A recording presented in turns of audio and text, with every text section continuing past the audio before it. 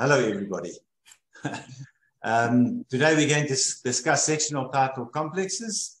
Our presenter is Marina Constas. She's, the, as you can see on the left-hand side. So by the way, Kanya, can you see my screen? Yes, I can see it now. Thank you. Wonderful.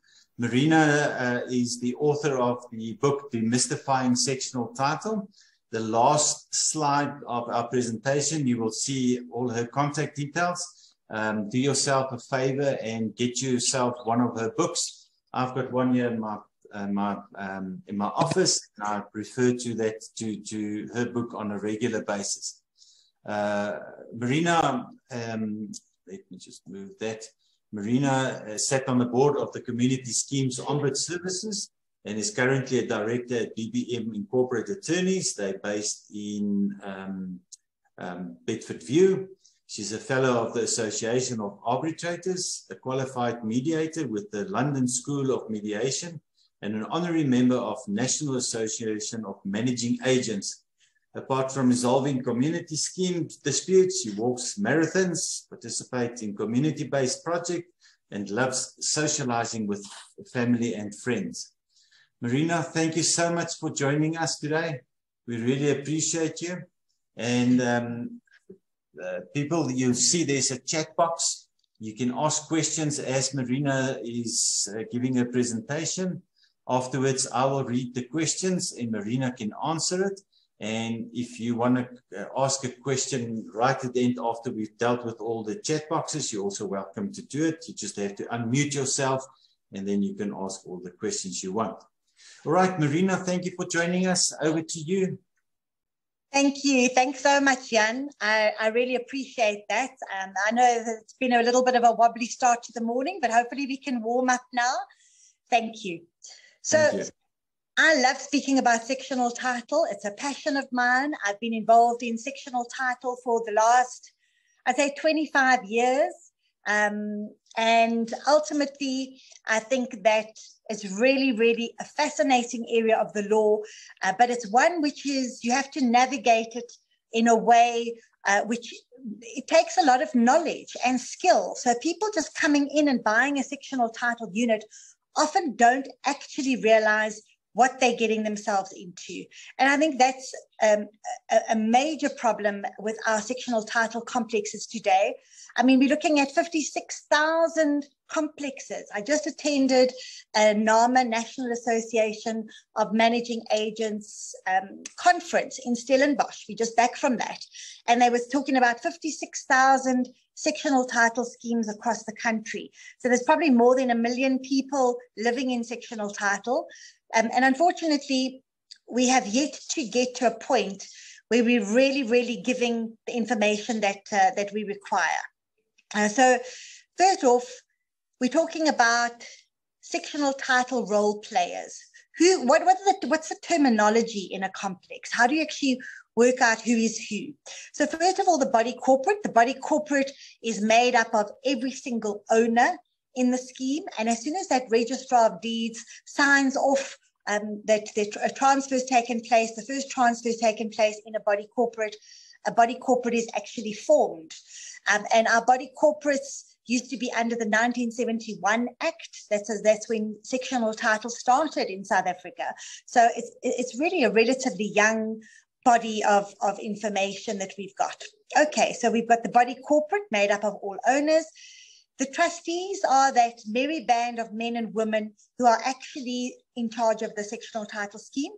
And trustees are have got a fiduciary duty of care and skill to look after what is going on in the complex.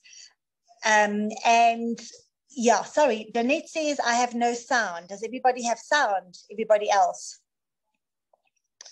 I'm sure it's okay. I hope you. you I'm sure you it's all good, Marina. Yes, Sorry, we can hear you. Everybody can hear.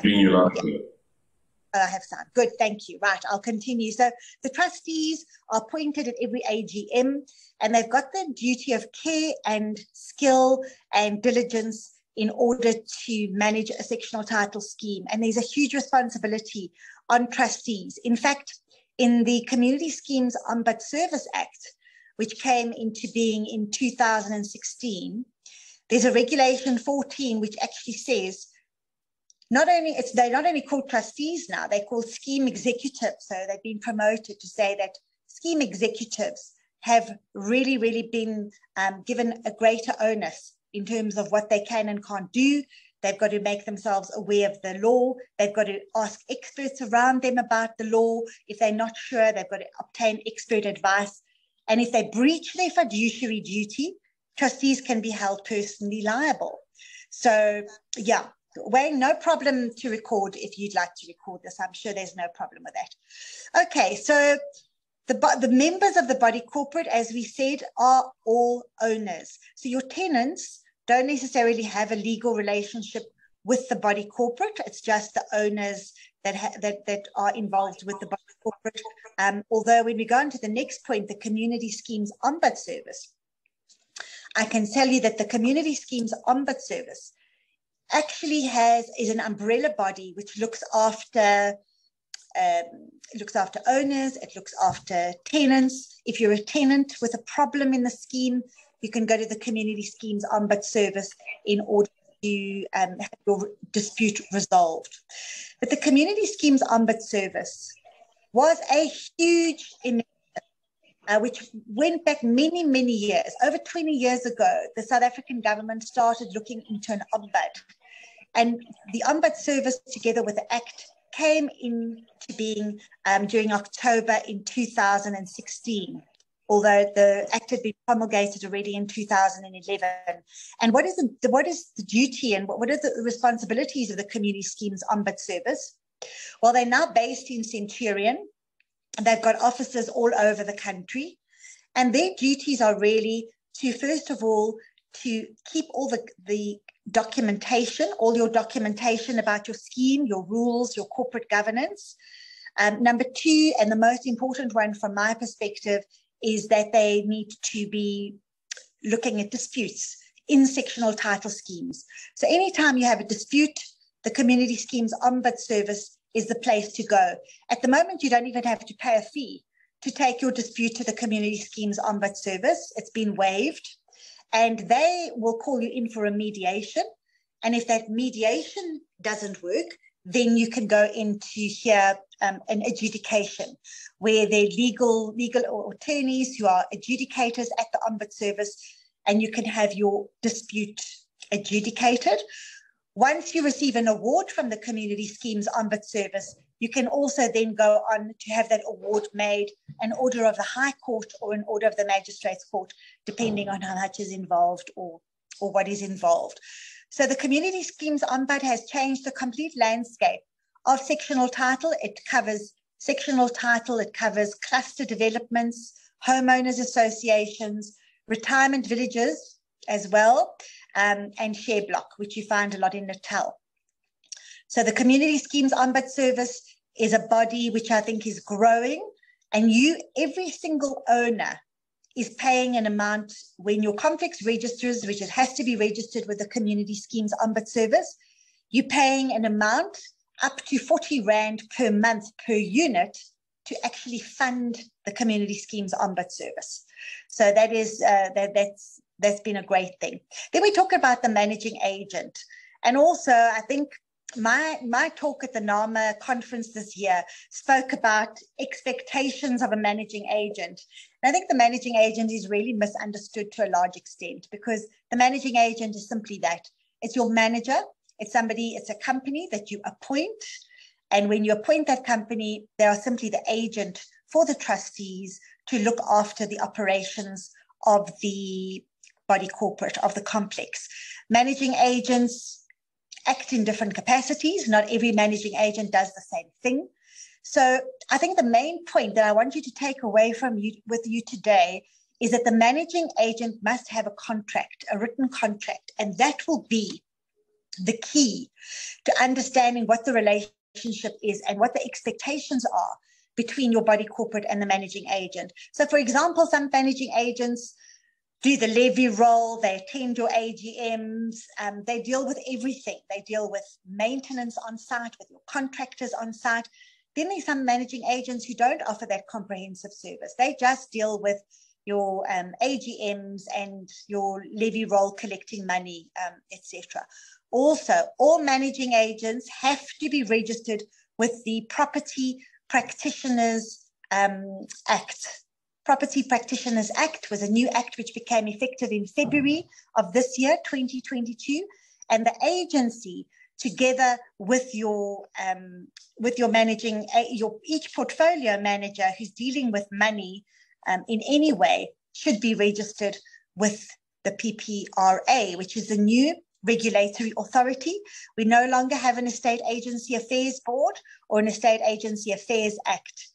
The new act is the, a property, profession, uh, property professionals act and it's the property professionals regulatory authority, which actually deals with all things on managing agents and estate agents now.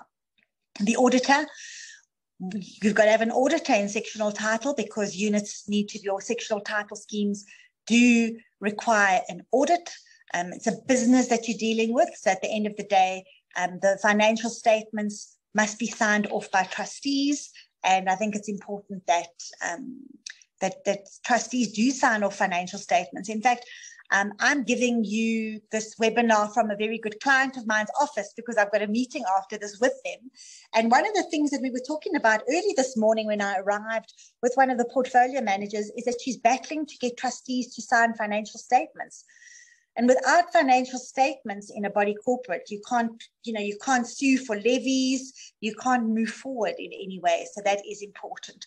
And then, of course, the body corporate insurer or insurance broker. Um, great to have a, should, should have a specialized sectional title insurance company because that is your interface with your scheme and with your complex and uh, really, really important to have that relationship to know that you need to get a valuation every three years.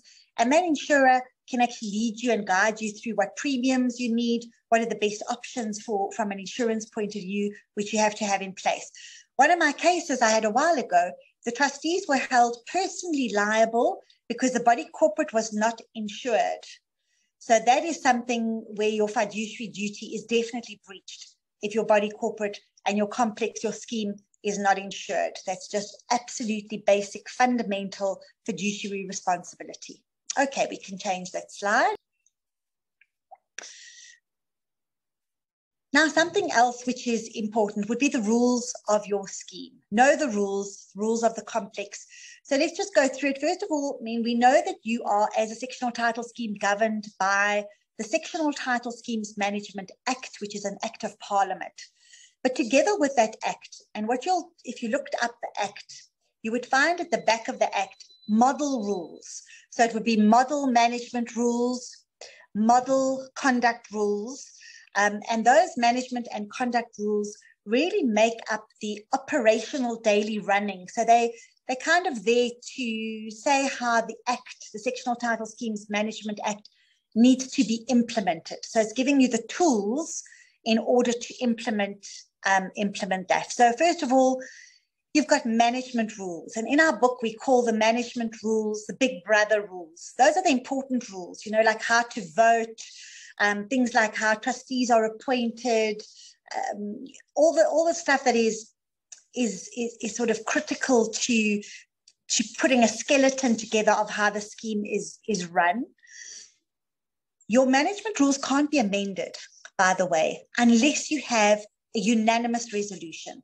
So anytime you want to change a management rule, I mean, generally you can't, because in my experience, when it comes to unanimous resolutions, it's terribly difficult to get a unanimous resolution.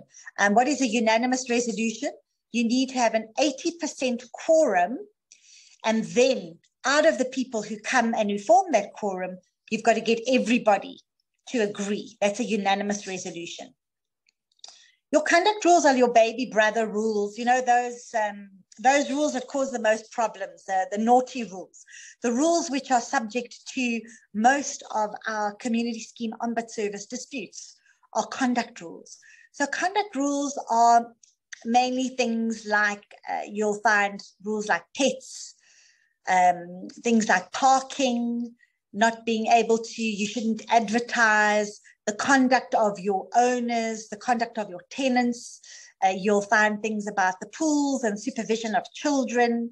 Um, you'll find everything to do with with with how to to manage the rules in the in the scheme and manage the behavior. It's more like behavior in the scheme, and those conduct rules have been subject to great scrutiny over the last couple of years, particularly by the Community Scheme Ombud Service, who has seen fit to send out directives to tell you what rules you can and can't have in schemes because we've been pretty naughty in the last couple of years in running a lot of conduct rules which are not valid.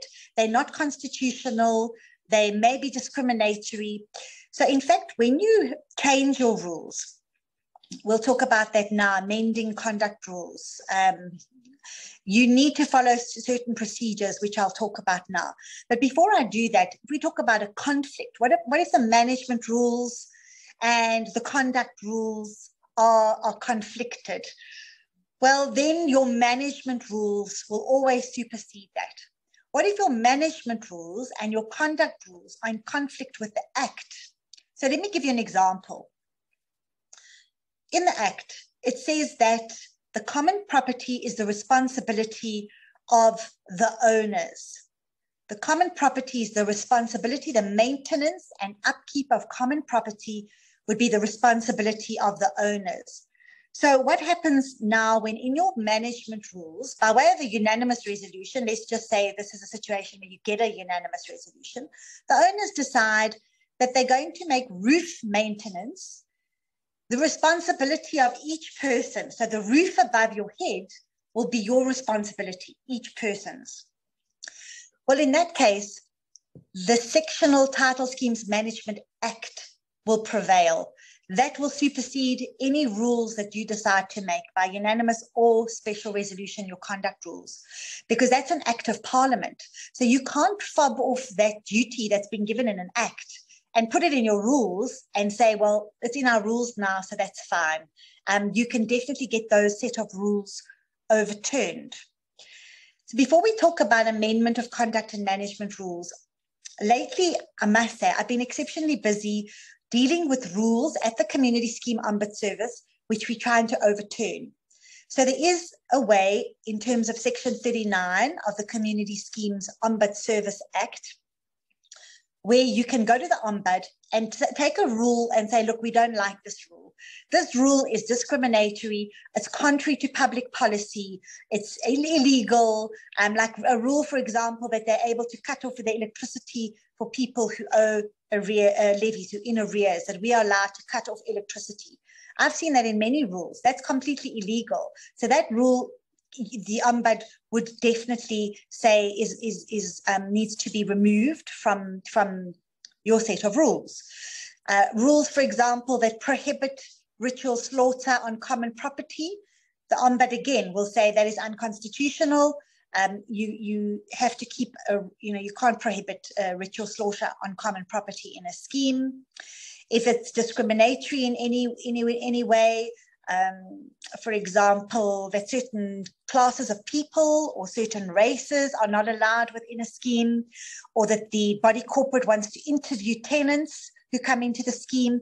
Those kind of things are all exceptionally dodgy grey areas and they, they're unconstitutional. So you can approach the ombud and ask for those rules to be removed from your set of rules or ask for rules to be substituted. And I must say they're doing a lot of that at the moment, doing a lot of it.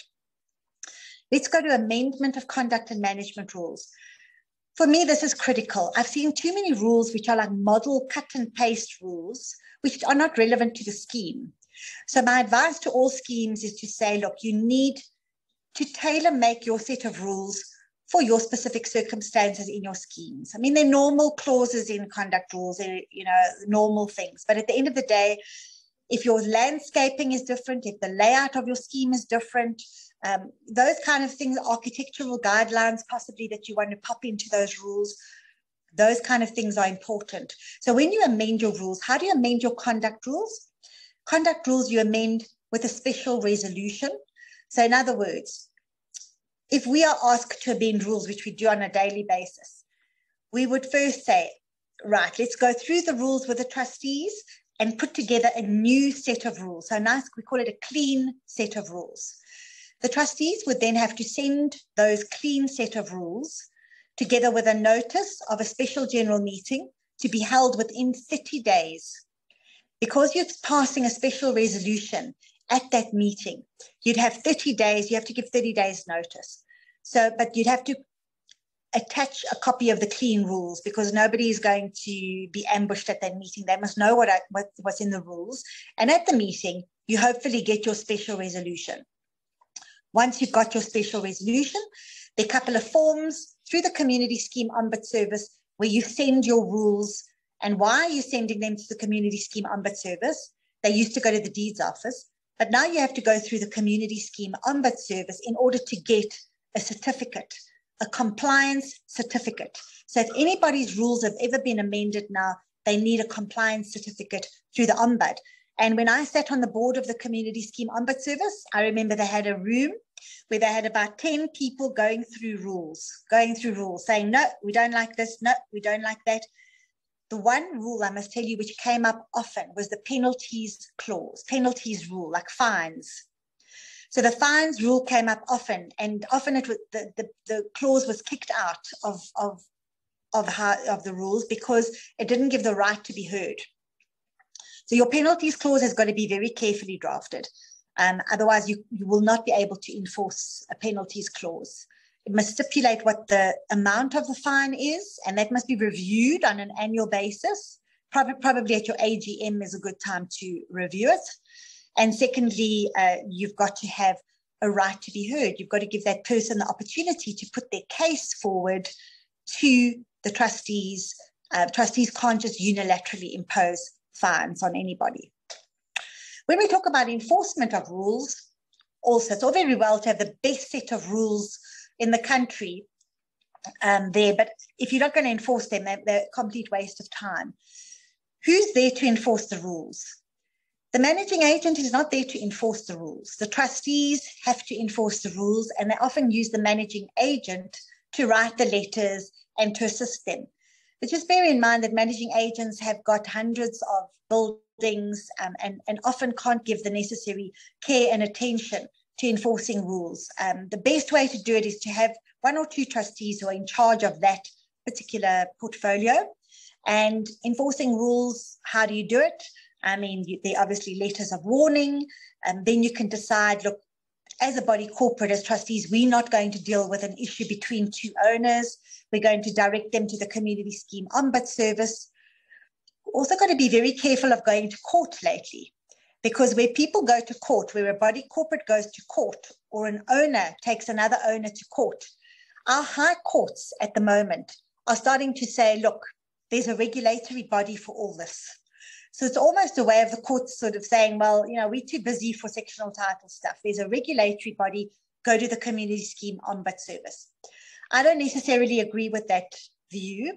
And I think in future we might see a few cases which challenge the couple of high courts that have made those decisions, because I feel that the court has concurrent jurisdiction with the community scheme ombud service. There are certain cases which I think are justifiably taken to high courts but let's see in the future. So be careful before you go running off to court. Maybe get a legal opinion. Um, you don't want a costs order against you for, for going to court. We have obviously had a number of complaints as well about the community scheme ombud service. Uh, unfortunately, they're government uh, governmental uh, body and have had their challenges in terms of backlogs and all the usual uh, things that we faced with. But my, my feeling is uh, they're definitely getting better and putting in the right kind of um, the right kind of tools and mechanisms to make sure that things are quicker. I've had some people who love the community scheme ombud service. They said that we've had hundreds of mediations there and it's worked beautifully. And then there's some people who who who've had different challenges. Next uh, slide, please. Okay, we're talking about now meeting and voting, which is, I mean, community the sectional title schemes Management Act is prescriptive. It's definitely not a guideline. It tells us exactly how to go about uh, meeting and, and voting. And I must say that more and more meetings are now virtual, held virtually. And, and this is definitely, definitely something where the trend is a good one. It's a good one. And I'm saying that because I'm talking on behalf of most of my managing agent clients when we say that it's so much better for a managing agent to have a virtual meeting. Um, you know, it's it's just less traveling. It's they can spend time with their family rather than going up and down. And and I think it's it benefits everybody. Everybody arrives promptly to the meeting. You have less of that kind of uh, aggression. If there was going to be aggression at that meeting, that can be downplayed at a virtual meeting. So virtual meetings are on the up and up, no doubt about it, and they are allowed in terms of the management rules in the Sectional Title Schemes Management Act. As long as everybody can be identified, as long as everybody has access to uh, uh, computers and, and laptops and, and the software. We've had a couple of people who say, well, we don't, um, we don't have access because they want to be difficult and they want to stop a meeting happening. Um, and that's where we say, well, you could actually share with other people who do have access. So that's not really a very good excuse. Let's talk about participation quota first. So that's a, a term that you might have heard of if you live in a complex. But for those of you who are unsure, it's called PQ. So PQ, what you do to work out participation quota, uh, which is more or less your stake, your ownership stake in the entire scheme. I liken it usually to a. So if you have a full naartjie, you take the section of a naartjie, and that would be the unit. The square meterage of your unit, of your own unit, is one segment of the naartjie. And you divide the square meterage between all the sections all the different segments of the naartjie, which might be different. The one might be bigger, the one might have three bedrooms, the one might have two bedrooms. And then you get um, a figure which is close to a decimal, a, a decimal place, which tells you what percentage stake you have in the sectional title scheme. So what does that mean? That means that your PQ is based on the size of your unit. It doesn't include common property at all. Common property is like the peel, the full peel around the naartjie. And, and that participation quota will talk to what voting rights you have, because the larger your unit, the more voting power you have, the higher your percentage when you work it out on PQ, and also your liability in terms of how much levy you pay. So that's what about that what, PQ actually means, um, and it's taken in, into account in most voting, um, in, in most of the voting that we've got at the moment. So anytime you have to vote, um, you vote on PQ. For ordinary resolutions, you also vote on PQ. All right, so that's participation quota. When we're talking about quorum, quorum is a number that's got to be reached in order for you to be able to proceed with your meeting and it's the number of people present at a meeting in order for the meeting to go ahead. And your quorums nowadays are based on PQ.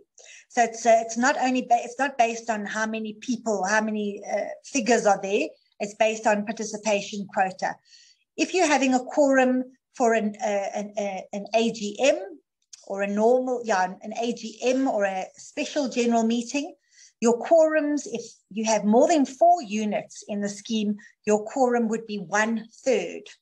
Um, uh, one third. So you need your, your 33.3% of your participation quota there, present, and ready to vote. If it's a trustees meeting, it's 50%, 50% of, of the people voting. All right, so your PQ, your quorum, and your voting is, is important. When you vote, Again, it's based on participation quota. Um, and nowadays, you've got really clever apps that are utilized at AGMs and special general meetings where this can be all, re- all recorded on an app. So you, there's no more recording and writing and raising your hands and, and doing all that type of thing. So that's where voting um, is critical. Obviously, your notices and that are also critical. If we're talking about our annual general meeting, your annual general meeting has to be held within four months of your financial year end. And so many people have said, yeah, but what, what happens if it doesn't? I mean, my body corporate hasn't had an annual general meeting for ages. Well, there's no real punitive measure that anybody can take um, if a body corporate doesn't have an annual general meeting, save to take them to the CSOS, the Community Scheme Ombud, to say, you know, there's a directive that they've got to give an award to say that to compel the body corporate to have an annual general meeting. But annual general meetings follow the normal uh, process that, that other meetings follow, apart from the fact that you've got to give 30 days notice if at that annual general meeting you're going to take a special or unanimous resolution. You definitely need 30 days notice. If you don't um, need special or unanimous resolution, uh, which is quite unusual, then it's 14 days notice. You can actually, interestingly, there was an, an amendment which came in quite recently, which said that everybody, if you don't feel like having an annual general meeting, and I think this was quite COVID related, it was almost intuitive that COVID was coming. If you don't want to have an annual general meeting, you can waive the, the, the, the owners can waive the right to have an annual general meeting as long as everybody votes um, on each resolution that should have been taken at the annual general meeting. If you look at the Act, there's a whole lot of separate things, items that are dealt with, and they set in stone. They specific, you know, like who the auditor is, um, what the income is, you know, all these kind of things on, on, on at the AGM. And there you can waive as long as you, you know, give give a, a resolution on those on on whatever you've tabled. Special general meetings often held in many, many complexes across the country. If there's something to be spoken about, you put it to a special general meeting. And my advice to many trustees is to say, you know, if you're unsure about something or you're unsure about a decision that you're taking, bring people in on it. Don't ambush people because that's a surefire fire way to get people uh, against you on a lot of decisions, even if your decision is ultimately the right one. So your special general meetings uh, bring people in on. Something I want to just chat about, you know, owners' power. An owner's power is incredibly important. And owners have said, yeah, but you know, we would like to call a meeting. What, what happens if we want to call a meeting, not the trustees?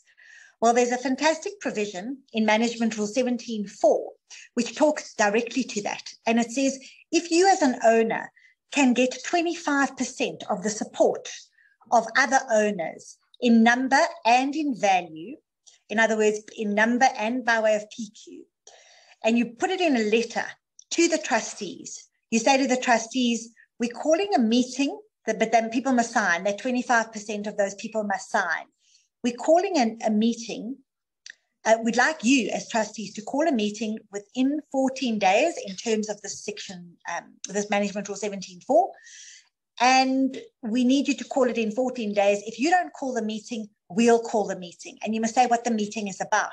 So even if that meeting is a vote of no confidence in the trustees, you can force the trustees to call that meeting. If they don't, you call the meeting. That 25% of owners calls the meeting. And uh, ultimately, as long as people know what the meeting is about, they can actually vote the trustees out at that meeting by way of an ordinary resolution. So that's 51% of owners can vote the trustees out. It's a question I get a lot as well. How do you get rid of the trustees? They've been here for too long. They're making all the wrong decisions. It's actually much easier than you think. Okay, so we've spoken about an annual general meeting and a special general meeting. Trustees meetings. So trustees meetings are generally dealt with on quite an informal basis.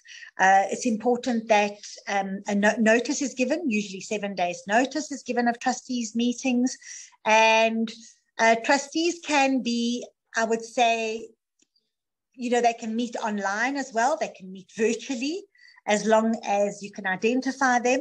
There should be a quorum is, is 50% of trustees need to be available at that meeting. But if there's not a quorum, there's a lovely little clause in the management rules which says the trustees can actually make the decisions even if there's not a quorum, but then those decisions have to be retrospectively ratified. In other words, agreed upon after the fact by the other trustees. I think there's a recognition that, you know, during the argy bargy of life, maybe trustees can't all get together at the same time or whatever it is. I mean, it's a it's a big job, um, and at the end of the day, people have their own pressures in life. So that is something that's recognised. Who may attend the trustees meetings? Oh, that's also a good question. owners will phone and say, I need to get into one of those trustees meetings. They need to understand what problems we're facing and we need to speak to them face to face. Well, that is definitely a possibility. So owners are entitled to attend trustees meetings. They're entitled to get notification of when trustees are having meetings. And then they can say, look, we want to attend a, a trustees meeting for the following reasons. The trustees can give permission or should give permission, um, but they're obviously allowed to speak but not vote on anything. They can speak. However, there are situations where trustees may feel that there are confidential issues which are being dealt with at that meeting, or where the privacy um, of a member is, is being significantly jeopardized, or there's a dispute that's going on with somebody that they don't really want anybody else to know about at that stage, and it's quite sensitive information.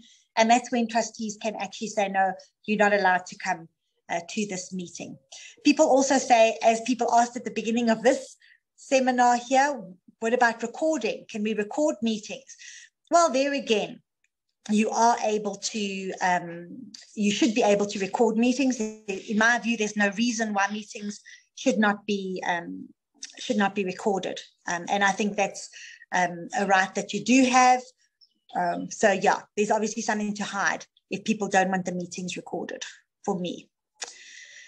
So duties of um, duties of the trustees. So we've said that the trustees do have a fiduciary duty.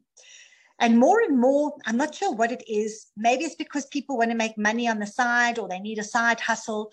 We found that sometimes there's too much confusion within a scheme because a trustee might actually involve in another business and um, actually be um, involved in in sort of getting people to come in and doing paid jobs or coming in and doing uh, work for the corporate some sort of interest in the body corporate, which is not strictly speaking allowed because if you're making money, um, if you're making money out of a out of out of something, then you've got a conflict of interest. So that conflict of interest needs to be dealt with. If you come to the party and say, look, I do have an interest in this, but I think they're the best guys to go with, and um, everybody's happy because you're very competent and they trust you you must have every owner's consent in writing to be able to go forward. Also, as a trustee, you aren't allowed to make any decisions. You must recuse yourself from any decisions which involve anything that's going to be in your interest or be conflicting, uh, you know, with you. That's very, very clear. Um, what about paying trustees? Because trustees have got so many duties, and I mean, it's it's it's really quite a big job. My personal view is that trustees shouldn't actually be paid. Um, I think it's a civic responsibility and it's something where you are protecting your asset. But if the, they do, if the body corporate agrees um, that you can be paid, you would need, um, you would require a unanimous resolution to decide if an owner as a trustee can be paid and a special resolution to decide if um, an outside trustee, somebody who's not an owner, can be paid. So note that I could be a trustee of your building, or Jan could be a trustee of your building. We don't need to be owners in your building. And before the new Sectional Title Schemes Management Act came out, the law said that you had to have a majority of owners as trustees. Now that's gone. You don't have to have a majority of owners as trustees. So, you know, at the, at the end of the day, you could have all the trustees being non managing uh, non-owners in a building. And in fact, uh, it's a trend around the world where you're having that. You're having more business-oriented people being um, owners and actually paying them. The other trend is also executive managing agent. If the trustee simply can't get it together to manage, or they just have some conflict, um, or there's been some order against them, you can also have an executive managing agent, which is a normal managing agent just with increased power uh, they actually take on liability and work with the trustees, but can take the decisions the trustees would usually take. So those are usually buildings where there's trouble. Um, they're not administrators, but they are executive managing agents. I can tell you as well that the Community Scheme Ombud Service has a panel now of 25 executive managing agents from which to choose. If a body corporate wants to appoint a, an executive managing agent, a special resolution would be required to do so. 75%, what's a special resolution? 75% um, of owners in number and value. When we say value, it means PQ, what that percentage, how, how, the vote that you hold, um, must vote and you must get a resolution passed that to obtain a special resolution. So that we've spoken about an ordinary resolution, we've spoken about a unanimous resolution, um, and we've now spoken about special resolutions. So those are the types of resolutions, and they set out in the Sectional Titles Act what has to be special and what not, what doesn't have to be. Thank you. Next slide. All right, we talk about the financial management of a body corporate, and I think in many situations, body, bodies corporate and homeowners associations and the value that they've put on the table has been really underestimated in the past. Uh, you've got to treat your building like a business. If you don't, you're really going to face problems in the future in terms of um, not bringing in enough money, not pursuing arrear levies properly, um, and, and getting into debt, getting into a situation where banks are looking at your complex. And although they, um, they always deny that they've redlined buildings, that is actually going to be something that they, they do look at doing. So who must manage uh, the finances? Well, again, it falls on the trustees. The trustees are responsible for the financial management of the body corporate. You might say, well, actually, our managing agent deals with all the money and the finances. And then I would say to you, well, look, I think you've got to be careful with that because it's not ultimately up to the managing agent, it's up to the trustees who basically are the head, the head who, who, who who is responsible for the conduct of the managing agents and seeing what the management agents are, are doing. So you should at all times, whenever documents are signed, you should have two trustees and the managing agent sign whatever documentation needs to be signed, um, or at least one trustee and the managing agent. Um, I think the financial management of a body corporate will rest on the shoulders of the management agent ultimately. Um, and it's a it's a job every month that, that has to be carried out, sending out um, invoices for levies and collecting money. And again, when you have the collection of money, that becomes a vital element um, that falls under the Property Practitioners Act, and you have to have a fidelity fund certificate so that if there's any theft or misappropriation of funds, then you've got recourse as the body corporate, and that's become uh, compulsory now, absolutely compulsory. The Sectional Title Schemes Management Act talks about creating an administrative fund, and the trustees in, at the beginning of a body corporate have to open up a bank account with a reputable bank. It can't be an investment account or unit trust account or anything like that. And I think that has to be an administrative fund where your levies come in and out and where you can budget. So you need to set budgets for that. So that's your administrative account or administrative fund. Your reserve funds are something completely separate. With the with the bringing in of the Sectional Title Schemes Management Act again in 2016, there was a really great initiative which talked about reserve funds, which are now compulsory, because the legislation was tired of having um, bodies corporate living from hand to mouth and not being able to know what the next step was, if the budget, if the lift broke, if this broke, if that uh, needed maintenance. Nobody could afford anything. So now it's compulsory. You've got to open a separate account for your reserve funds. And those reserve funds are calculated um, utilizing a specific um, a template which the community scheme ombud sets out. Um, but very simply put to you guys is that you need the amount of money which is going to fund your maintenance, repair, and replacement plan during that coming year, during the forthcoming year.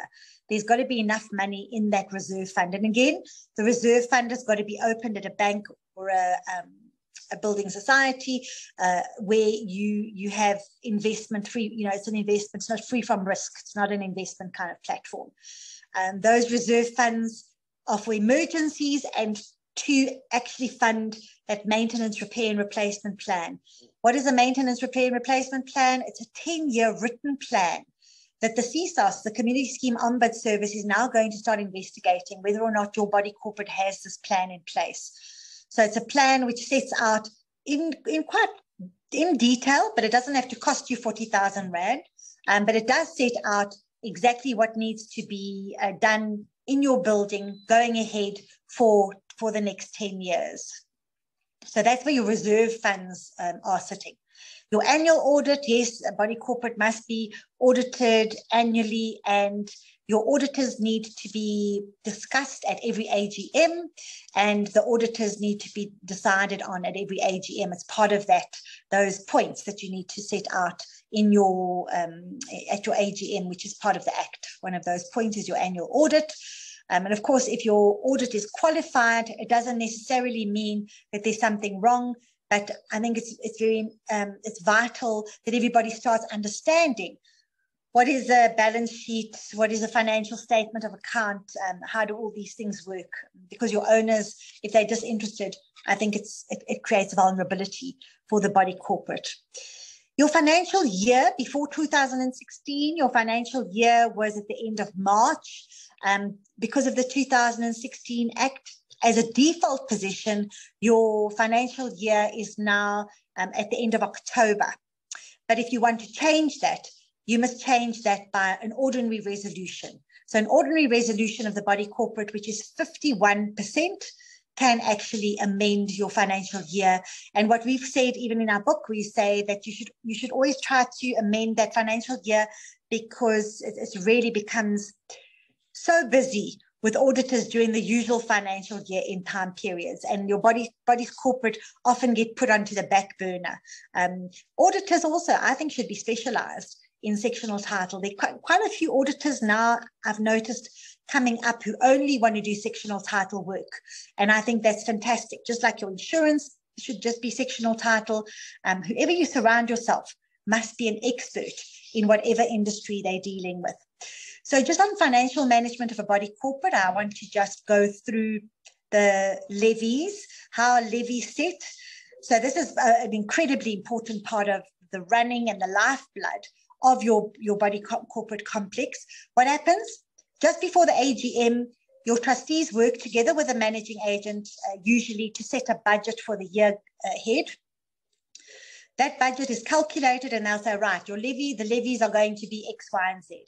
At the annual general meeting, the owners are then responsible to um, confirm that levy amount. So the owners would give the go ahead for that levy. So often when people phone or they say to us, well, you know, at a consultation, we've got nothing to do with this levy. The trustees set the levy. The trustees do not set the levy. The trustees just propose a levy. Owners will then approve it at the AGM. And straight after that levy is approved at the AGM, the trustees need to get together and resolve in a written resolution that that is the levy that has been set. If the trustees don't do that, then unfortunately the case can be made that an owner can get away with not paying their levies. And that's a, a serious case that, that uh, took place a couple of years ago uh, called the Peaks Body Corporate versus Prinsloo, where if you don't have that resolution, there can be a, a problem. So put that resolution in place. Trustees, if any of you are trustees and you're listening, please also make sure that you've got a written resolution on the interest that you're charging on levies. You can charge interest. You can charge um, National Consumer Act uh, interest rate. I mean, it's up to 24.8%, which you don't, you're not going to charge, but you are entitled to charge interest. You're entitled to charge compound interest. But at the end of the day, if there's no written resolution from the trustees on what interest rate that you're going to charge if people become uh, going to going to default in arrears, then you can only charge a normal standard MORA rate um, of interest. So, so bear that in mind. And having done a lot of collection work with arrear levies in the past, the courts will not let you get away with, they want to see the minutes of the meetings, they want to see your financial statements that are signed, they need to see that resolution on the uh, levy and they want to see your interest resolution. So that's just a case of, well, we'll sue them if they're in arrears. Your ducks must be in a row. Trustees' ducks must be in a row as well before we carry on to sue. So um, yeah, I think that uh, that that is really, in a nutshell, um, the presentation. And I think there are quite a few questions that have been fleshed out of um, out of there. And maybe Jan, if you could, um, if you could maybe go through the questions and take me through them, or let people ask questions. I'm, I'm really, I have no problem with that. There's definitely time. Thanks, Marina. I've certainly learned a lot. Um, interesting, um, all the facts and the developments. Okay, let me go through the questions. Um, let's see quickly. People have had problems with sound. I'm sure we, we got that right. Just before we carry on, please, this is a recording. And um, if you want a copy of the recording, just uh, WhatsApp or email me. Um, you'll see the email address just now. Then um, I can WhatsApp it to you or email it to you. Um, all right, let's go. We are recording this session. Thank you, thank you, thank you. Okay, here's the first question, Marina. Does it cover a business office park? There are owners of each of uh, of each office. The company manages the common area and charges a fee stroke levy. Should they be registered with the CSOS? Um, yes, definitely. Definitely covers um, the community scheme ombud service covers all those kind of community setups, whether they are residential sectional title or um, or office sectional title. Doesn't matter if they're commercial schemes or, or not. And in fact, I must add that the community scheme ombud is not only looking at that kind of situation, they're also looking at uh, communes in the future. Um, they've already looked at cooperatives, which are in, a, in rural areas. So they're looking at student accommodation, which might not even be sectional title as well. So they're trying to pull in as much as possible into the fold. Um, obviously, from a financial point of view, they'll they'll receive more monies from that as well. We can't. Uh, we, that's a bit of a cynical side of me, but at the end of the day, they want to have uh, control over any type of community scheme. Okay. Um, Gillian is asking, will it be possible, please, to share the slides afterwards? Yes, Gillian, but if you, obviously, if you want the recording, it will show on that as well. Uh, the Kanya has answered you. Okay, next question, Vicky. What happens if an owner suffers damages to the unit due to a common property issue? Damage occurred in May 2022 and trustees have never lodged a claim with insurance. What is the way forward now for the owner to claim for damages to the property from the flooding? Good question. That's a great question. And water ingress is something which is, is, is, is a problem. Now we're starting with our rainy season, so we're getting more and more files on the specific issue as well. What happens is as follows. Body corporate has got to deal with common property. So if there is a flooding, if there's uh, if there's damp coming into a unit, it's usually coming from the outside into the unit. So it's coming into the outer skin of that unit.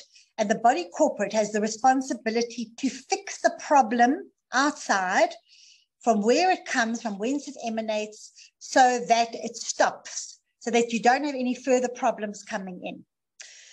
So they need to waterproof, they need to do gutters, they need to do drainage, whatever they need to do, they have to fix. And they need to do it quite quickly. Because if they don't, that's the time when an owner might have recourse to a damages claim. If they if they do if the body corporate fixes the problem pretty quickly, the inside of that unit is the responsibility of the owner, and the owner needs to fix it. If the body corporate have not put in a claim time um, you know, you can also uh, take that to the community scheme ombud service, but the unit owner would still be liable for the excess on any insurance claims. Um, it's the only time that an owner has a damages claim against the body corporate is if the body corporate have been negligent, they haven't acted in time, they've allowed the problem to worsen. That is when you could go with your damages claim. Just be cautious with that though, because you know to go to litigation against the body corporate is expensive. So it all depends how much money we're talking. It's only if it's very, very large amounts of money that I think it would be worthwhile to to go to the um, the body corporate. The community scheme ombud service would not deal with damages claims. That would a court would deal with. Okay. Um, I see people have asked for copies and Kanya send, said they must send their emails. Kanya, just make sure you get all those emails, please. Um, yes, we've organized that already. Thank you. Thank you, Kanya. Oh, it looks okay. Here's a question. Another one from Vicky. If new trustees are being voted in at AGM, is that uh, classified as a special resolution and therefore the AGM needs the 30 day notice period or is 14 day notice allowed? Uh, Vicky, definitely 14 days. It's not a special resolution. That's an ordinary resolution of the owners there by 51%. Okay. Uh, Ursula, question to Marina. Thank goodness it's to Marina. If there is a special levy of a large amount, when a seller sells to a buyer, should the seller cover the total amount they agreed to in the clearance or is it in the is it the norm for the buyer to take over that special levy? Your opinion would be appreciated.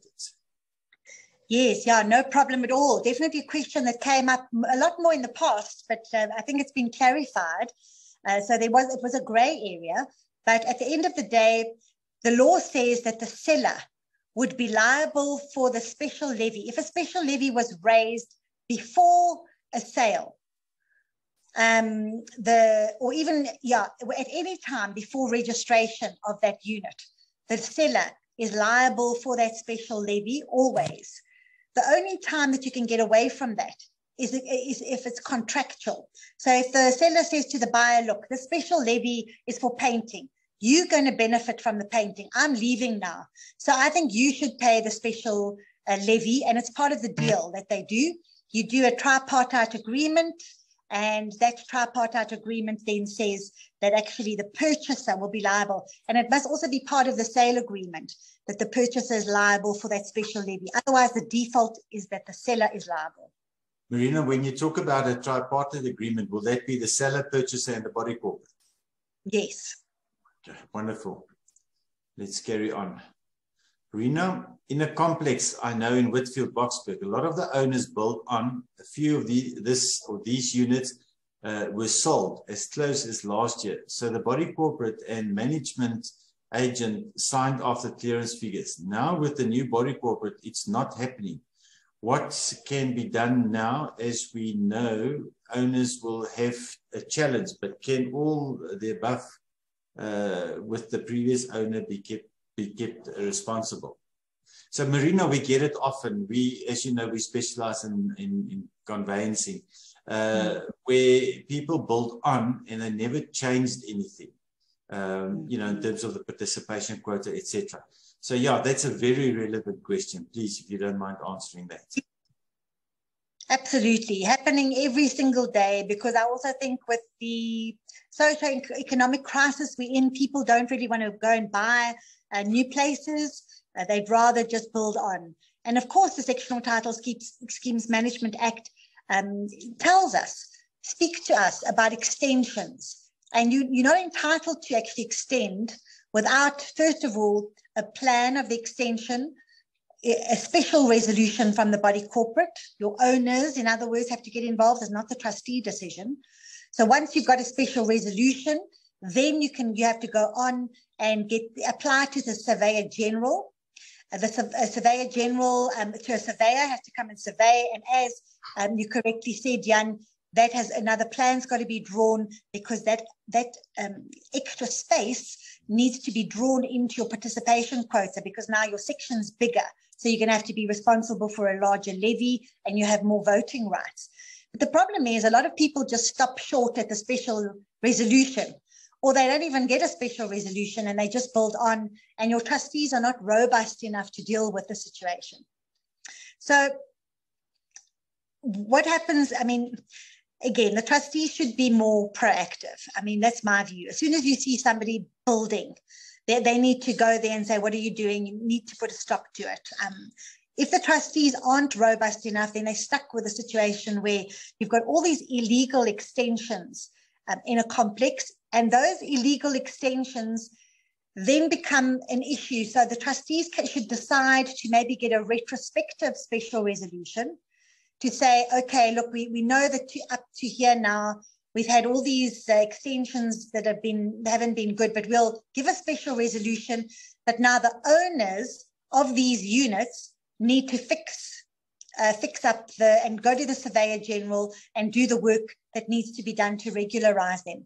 There would definitely be a case for those current owners to then have a case against the previous owners in terms of the money that is spent um, you know, for the surveyor. It's an expensive process. I mean, it's not a cheap thing.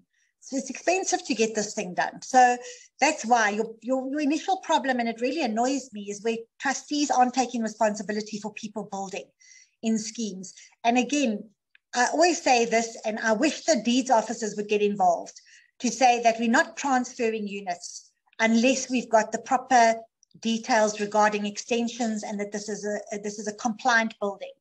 Um, but I don't suppose that that will be the case anytime soon. They did it once, but I haven't seen it again. Okay. Um, it's not a question, just uh, ZA0177. There's no name. Ask if they can have a recording. Um, unfortunately, don't know who you are. You need to speak to me directly afterwards. Right, Eddie, um, I'm a trustee at a complex. Every year at our AGM, we propose a budget to cover our administrative and maintenance budget. The levy increase get turned down by the majority of the owners, resulting in no funding be available for the reserve fund and barely enough to cover our administration budget. What does we, what do we as trustees stand to do? Our building are falling apart due to lack of funding for maintenance. Hmm. Such a dangerous, such a dangerous position to be in, and and and one which definitely requires uh, sympathy. Uh, you're not alone. I think there are many buildings, uh, particularly around Gauteng, that are in exactly the same position. So, under those circumstances, what would usually happen is there are two ways to deal with it. The one is that you would um, either have the option to place that building under administration so that's a set procedure where you're allowed to, at the moment, you're allowed to approach the magistrate's court to place the building under administration so that you get somebody in who is an administrator who would then take over the control of that body corporate, collect levies, set budgets, and almost like it's almost like a business rescue kind of situation where somebody else is now taking over and actually getting these things done. And they have powers that are given to them by a court rather than powers given to them by owners. So that's one, it's quite a draconian and, and last resort type of way to deal with it.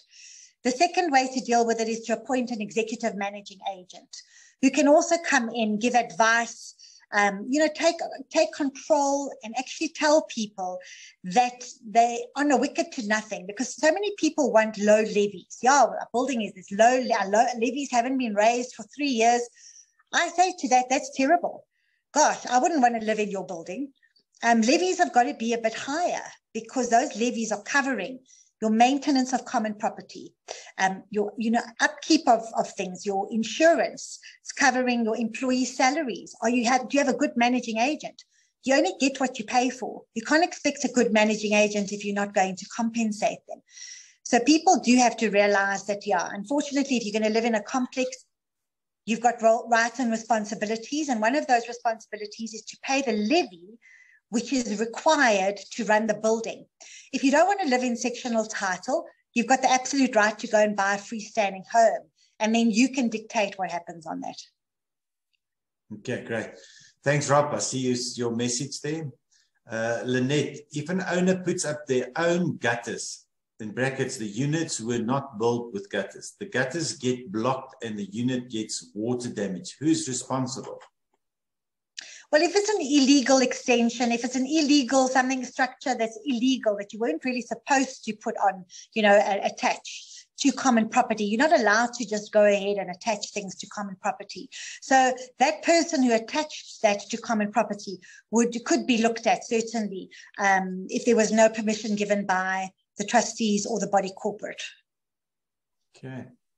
Um, right. Sandy, what responsibility does a body corporate have towards the security of the complex or stroke individual units?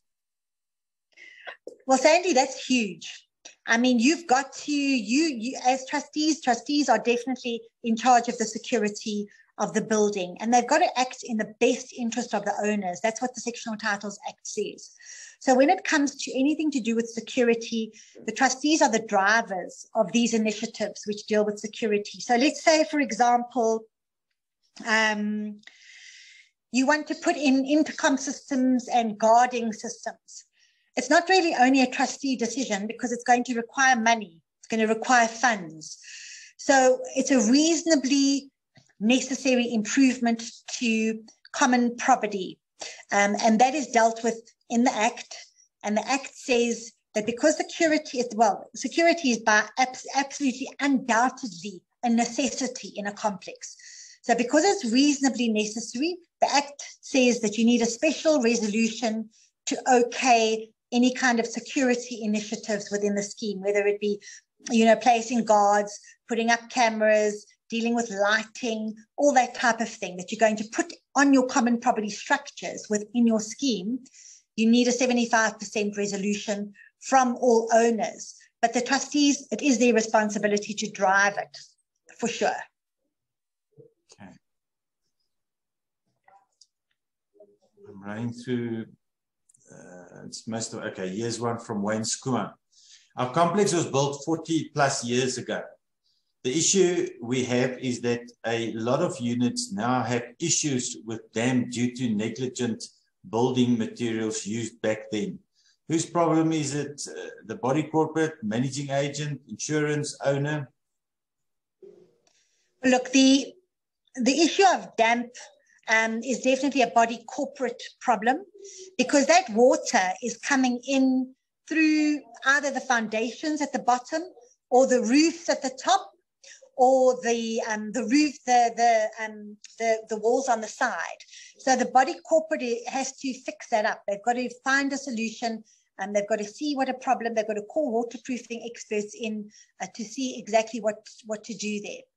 Insurance companies will often repudiate their insurance policies based on the fact that the trustees haven't put the requisite uh, uh, things in place in order to um, alleviate the problem or stop the problem uh, completely. But we've got a complex in Sandton at the moment, which is facing a huge, huge levy, special levy, because I mean they've got to do an inordinate amount of work on the water ingress problem. If they don't, that entire complex is going to start subsiding. So mm. it is a real problem. I'm aware of that. It's, it's a real problem. Your insurance company, if we think about it, your insurance company will insure you against sudden events. Something sudden, if a, if a, a geyser bursts or ruptures, um, if something happens suddenly. So if there's a problem with maintenance over a number of years and they've been negligent, insurance is not going to cover uh, damp proofing and you know and that kind of thing. They won't cover it. So that's insurance broker or insurance company can actually come in and, and direct you and guide you on, on things like that. So, yeah. Thank you. Then, Monica, if an owner has a, a major damage or has that major damages in a downstairs unit caused by a water leak in the upstairs unit bathroom and the managing agent never reported to the owner and refused to give the owner's details to contact him directly, do the owner have a claim and against who? Uh, Marina, this is a question that in conveyancing we get a lot. So please help us here. Yes, yes, with pleasure. So, so basically, your upstairs unit um, has a foundation structure. There's a foundation slab between the upstairs unit and the downstairs unit. And that slab can often be very, very thick. It's not just a thin little slab. And more often than not, they're pipes that run within that slab. So if there's a leak of any kind, number one, you've got to get a plumber in to find out where that leak is actually situated. Is that leak situated um, if you cut that slab in half horizontally? So just cut in your mind, cut that slab horizontally. The 50% um, and in, in, in half, so 50, that's a median line. The 50% lying under the median line, which would be the top of the under, underneath roof, that would belong to the guy at the bottom. And the upper 50 percentile of that slab would belong to the guy at the top. So the, the question is, it depends. Where is the leak? Is the leak in the 50% of the top area or the 50% of the bottom area, which we mean it would be the bottom owner's responsibility to fix. And often these plumbers use dye tests, they use gas, they use all sorts of things to find out exactly where that leak is. So let's say, for example, the leak is in the upstairs bath, which is right at the top, it's in the pipe next to the bath. So it's actually the owner at the top's responsibility. The owner at the top does need to be contacted and should be contacted by the managing agent to say that um, you need, uh, you know, the, that owner needs to fix it. It's not the body corporate responsibility. It's that owner's responsibility to, to fix it. If that leak is causing bubbling in the roof of the lower, the downstairs guy, like for example, the ceiling is bubbling or moldy or whatever, it's the responsibility of the downstairs guy to fix his own unit. It's the same principle as what I talked about with waterproofing for the body corporate. The owner is responsible for the inside of the unit. It's only when that owner at the top has not done anything to fix the problem in his bath and has just left it and left it and it's got worse and worse and worse, that's when your bottom owner may have a damages claim against the top owner for failing to ensure that the problem's been fixed. Marina, part of uh, Monica's question is, is what from what I see is can the managing agent be held liable for this? Mm. No, the thing is, again, the trustees are in charge of this. So the owner shouldn't be dealing with managing agents only. The owner should be going to the trustees and saying, This is the situation. Can you get involved? The managing agent is simply an agent at the end of the day. So I think the there is a proactive duty on the owners to, to address these issues Okay. Thank you. The next question. If trustees are given an amount of 10,000 Rand maximum to spend on repair stroke maintenance and, and then spend 21,000 on painting previously unpainted prefab walls, can they be held responsible for the cost? How do the owners proceed? Yes, yeah, and I think they probably could be because, you know, the trustees at every AGM in that model uh, template of what has to be spoken about. One of them is restrictions and directions on trustees. Restrictions and directions. So where it says restrictions, many owners place restrictions on the trustees to say, look, you're not allowed to spend more than X, Y, and Z without reverting back to the body corporate. I mean, we've had trustees who absolutely go completely overboard with the amount of money they spend if they don't have that restriction on them. I mean, one of the complexes took a matter to the appeal court and cost the body corporate about four and a half million rand because the body corporate didn't restrict them in those restrictions and directions. On the other side of the coin, you also can't restrict those trustees too much because they've got to run with accounts and maintenance and repairs. They've got to be flexible. So they can't go running back to the body corporate every time they want to spend a thousand rand. So it also has to be a reasonable amount. And a court could say, well, you know, it's not reasonable to let the trustees spend 10,000 rand every month um, on maintenance. It might need to be higher. But let's just say, for example, that they say it is reasonable and the trustees exceed their powers, then yeah, certainly the trustees could be taken on to refund the balance of what they were not supposed to spend. Okay, great, thank you. Um, can you perhaps elaborate on a little, uh, a little regards to fixing of items, equipment, etc., to common property? Joint units, etc. Solar installations as an example and potential liability insurance when taking electrical systems into account. I hope um, the question yes. is clear, Marina. Yes, um, I think so. So from what I'm understanding, the question relates to these big items on common property, maybe things like air conditioners, uh, generators, uh, solar. Solar is huge huge at the moment. Every second complex is wanting to put solar in. So that will fall under the Sectional Title Schemes Management Act, which talks about reasonably necessary and not reasonably necessary improvement common property. Because it's not maintenance or repairs. This doesn't fall under maintenance and repairs. That the trustees have to deal with. These kind of things fall strictly under improvements to common property.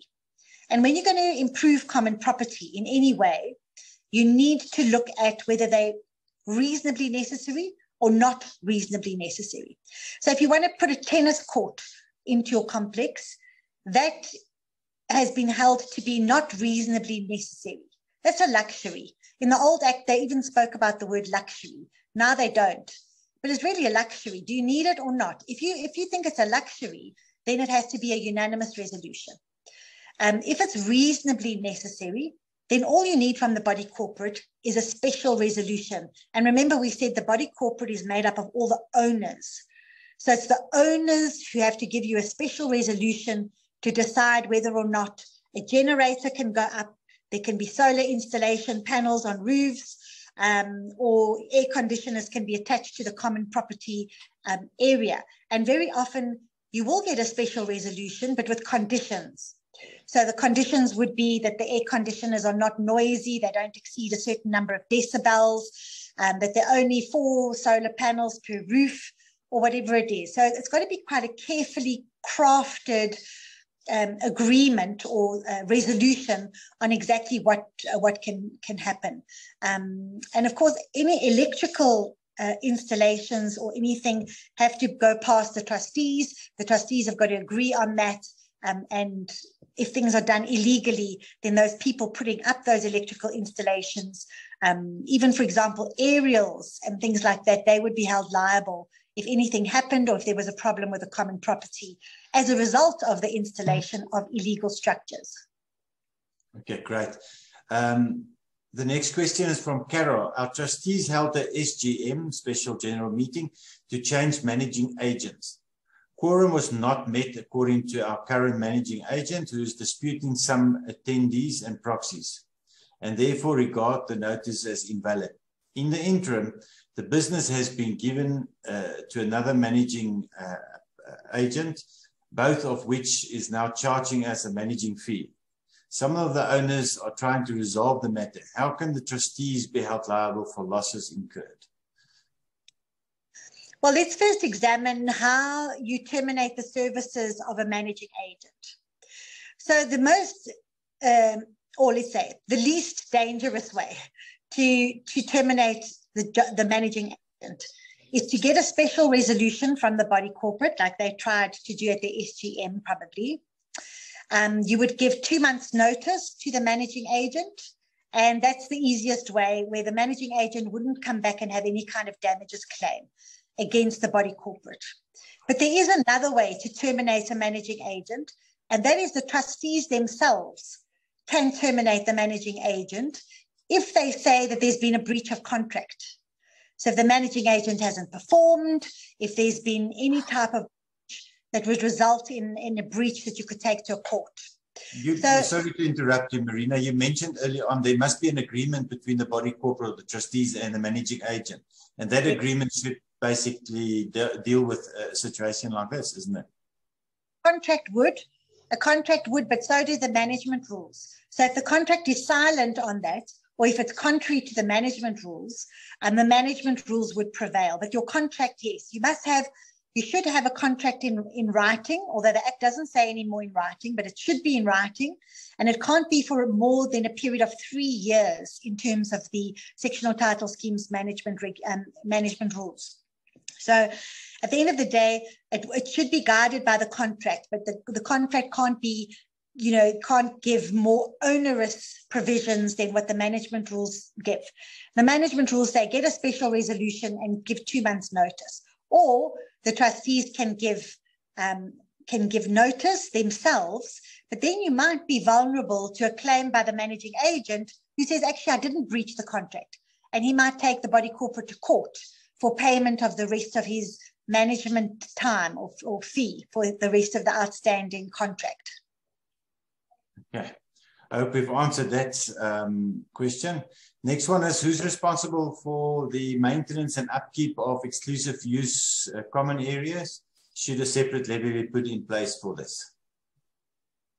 Maintenance of exclusive use areas. So if these exclusive use areas are registered at the deeds office, and they part they they they joined to a person's property. So, for example, I own a unit and I have a registered exclusive use area garage or carport or garden, um, then I, as the owner, am responsible for that keep and maintenance.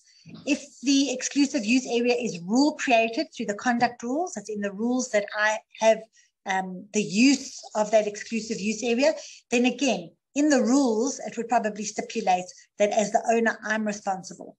Um, some people misunderstand exclusive use areas. They think it's their exclusive use area because of the fact that it's a walled garden or it's a balcony that they use exclusively. But actually, you need to check that because that may very well be common property. Okay, great. Uh, Rina has asked a question, but it looks like you've answered it. I hope uh, I read it correctly, Rina. Then Graham is asking, um, it, you've dealt with it, but I think the last bit of the question is relevant. If the leak is in the top layer and the owner of the unit above does not want to, to pay to have it fixed, what can the owner of the, the unit below do about it? Is it a simple uh, a, court case, civil case? Well, I think there you would definitely be entitled to go to the community scheme ombud service.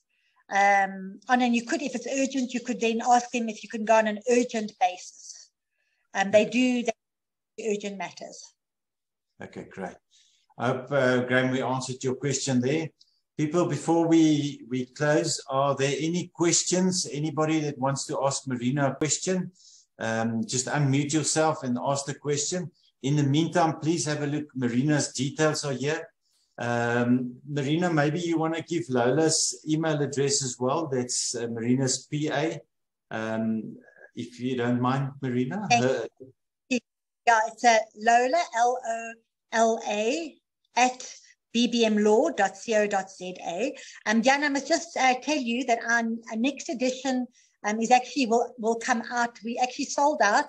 So our next edition will come out towards the end of the year because we've had to include things like the Property Practitioners Act and uh, the POPI policies, um, Protection of Personal Information Act.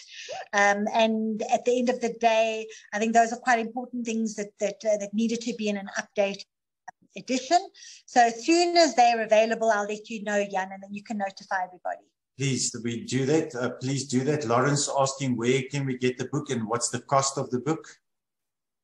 Well, the cost of the book will probably be about 480 Rand, the next edition and you can get it um, on our website, which is www.demystifyingsectionaltitle.co.za. But as I said, at the moment, um, everything is sold out and it'll be ready. Um, it'll be certainly ready by next year. Um, and yeah, I saw that question about discount. We'll let you know. yeah. Anyway, okay, Marina, thank you so much. I take it that nobody's going to ask a question. Um, you've got her details. I think it's best if you speak to, if you want to send an email to Lola, L-O-L-A at bbmlaw.co.za. I know Marina is, uh, is quite busy. But Marina, thank you so much. And everybody, sorry in the beginning, we had some technical issues.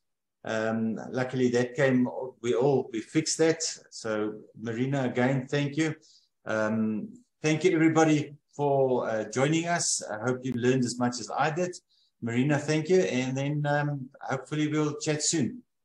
Thank you so much, Jan, and really well done. Well done for your initiative. Um, you're always educating everybody, and uh, I think you should be greatly appreciated in uh, in the property industry. Thank you so much. Thank you Thanks, Marina. Cheers, everybody. Have a good day.